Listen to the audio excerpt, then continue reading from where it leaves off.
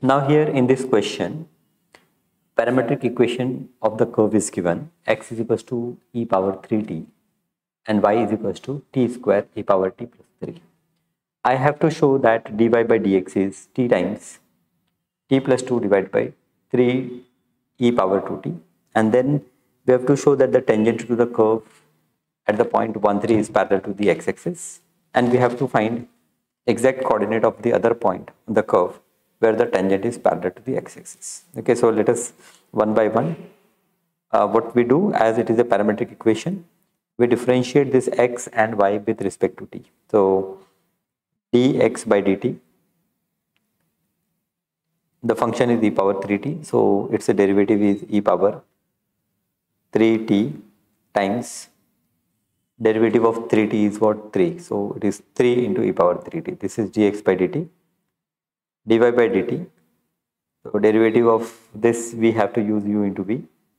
So it is t square into e power t plus e power t into t square derivative is what 2t. So I will say that 2t e power t and derivative of 3 is 0. Now dy by dx in parametric case dy by dx is what? It is dy by dt whole divided by dx by dt. So now dy by dt, here what we do here, uh, I will take t e power t common. So what is remaining is t plus 2. t plus 2 is remaining divided by dx by dt. dx by dt is what? dx by dt is 3 e power 3t. Okay, so e power 3t and here e power 3t. 1 time e power t will cancel and I will get t times t plus 2 whole divided by 3 times e power 2t okay. This is the value of dy by dx. Now we have to show that the tangent to the curve at the point 1 3 is parallel to the x-axis now tangent to the curve is parallel to x-axis show that the tangent to the curve at point 1 3 is parallel to the x-axis so what I will do I will find dy by dx and I will calculate its value at 1 3 now if this value comes 0, then it is clear that this is parallel to x-axis because the slope of any line which is parallel to x-axis is 0. So let us put, we will substitute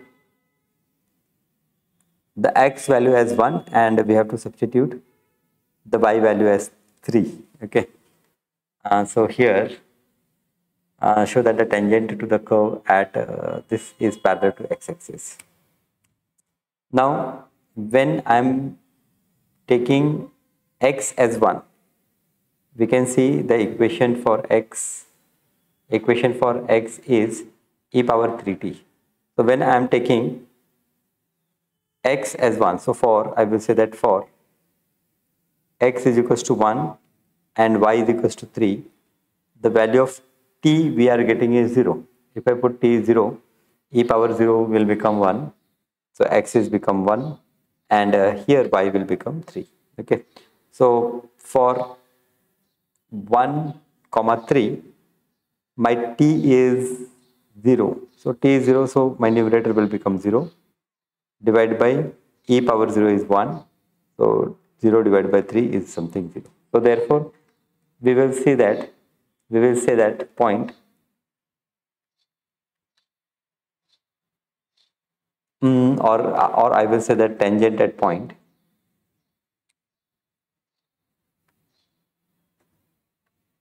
Tangent at point 1 comma 3 is parallel to x axis. Now next what I will do? Uh, for finding another point okay.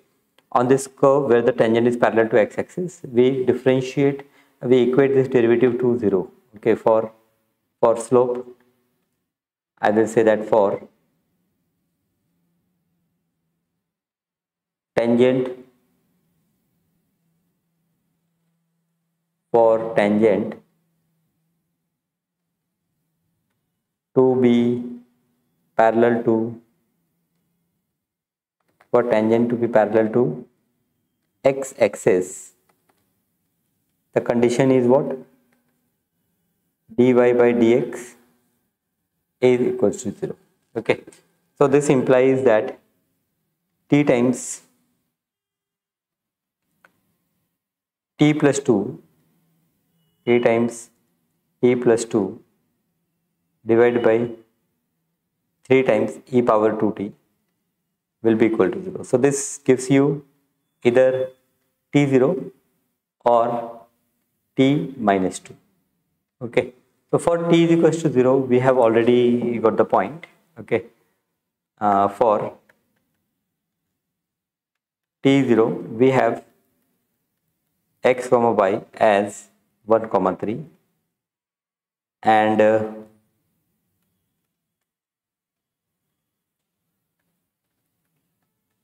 for t is equals to minus 2 we get x comma y as.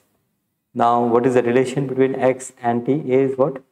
Your x is e power 3t so our x will become x will become e power 3 times minus 2 is equals to e power minus 6 e power 3t and y is t square e power t plus 3 and my y value will become. So I will say that x is equals to not x comma y x is equals to and y is equals to t square e power t. So it is t square. So it is minus 2 square into e power t is what? e power minus 2 plus 3 okay so here it is minus 2 power 2 is what? It's 4 so it's 4 e power minus 2 plus 3 so therefore x comma y is equals to now the x value is what? E power minus 6 and y value is what? 4 e power minus 2t plus 3 okay so this is another point. This is another point where tangent is going to be parallel to x-axis.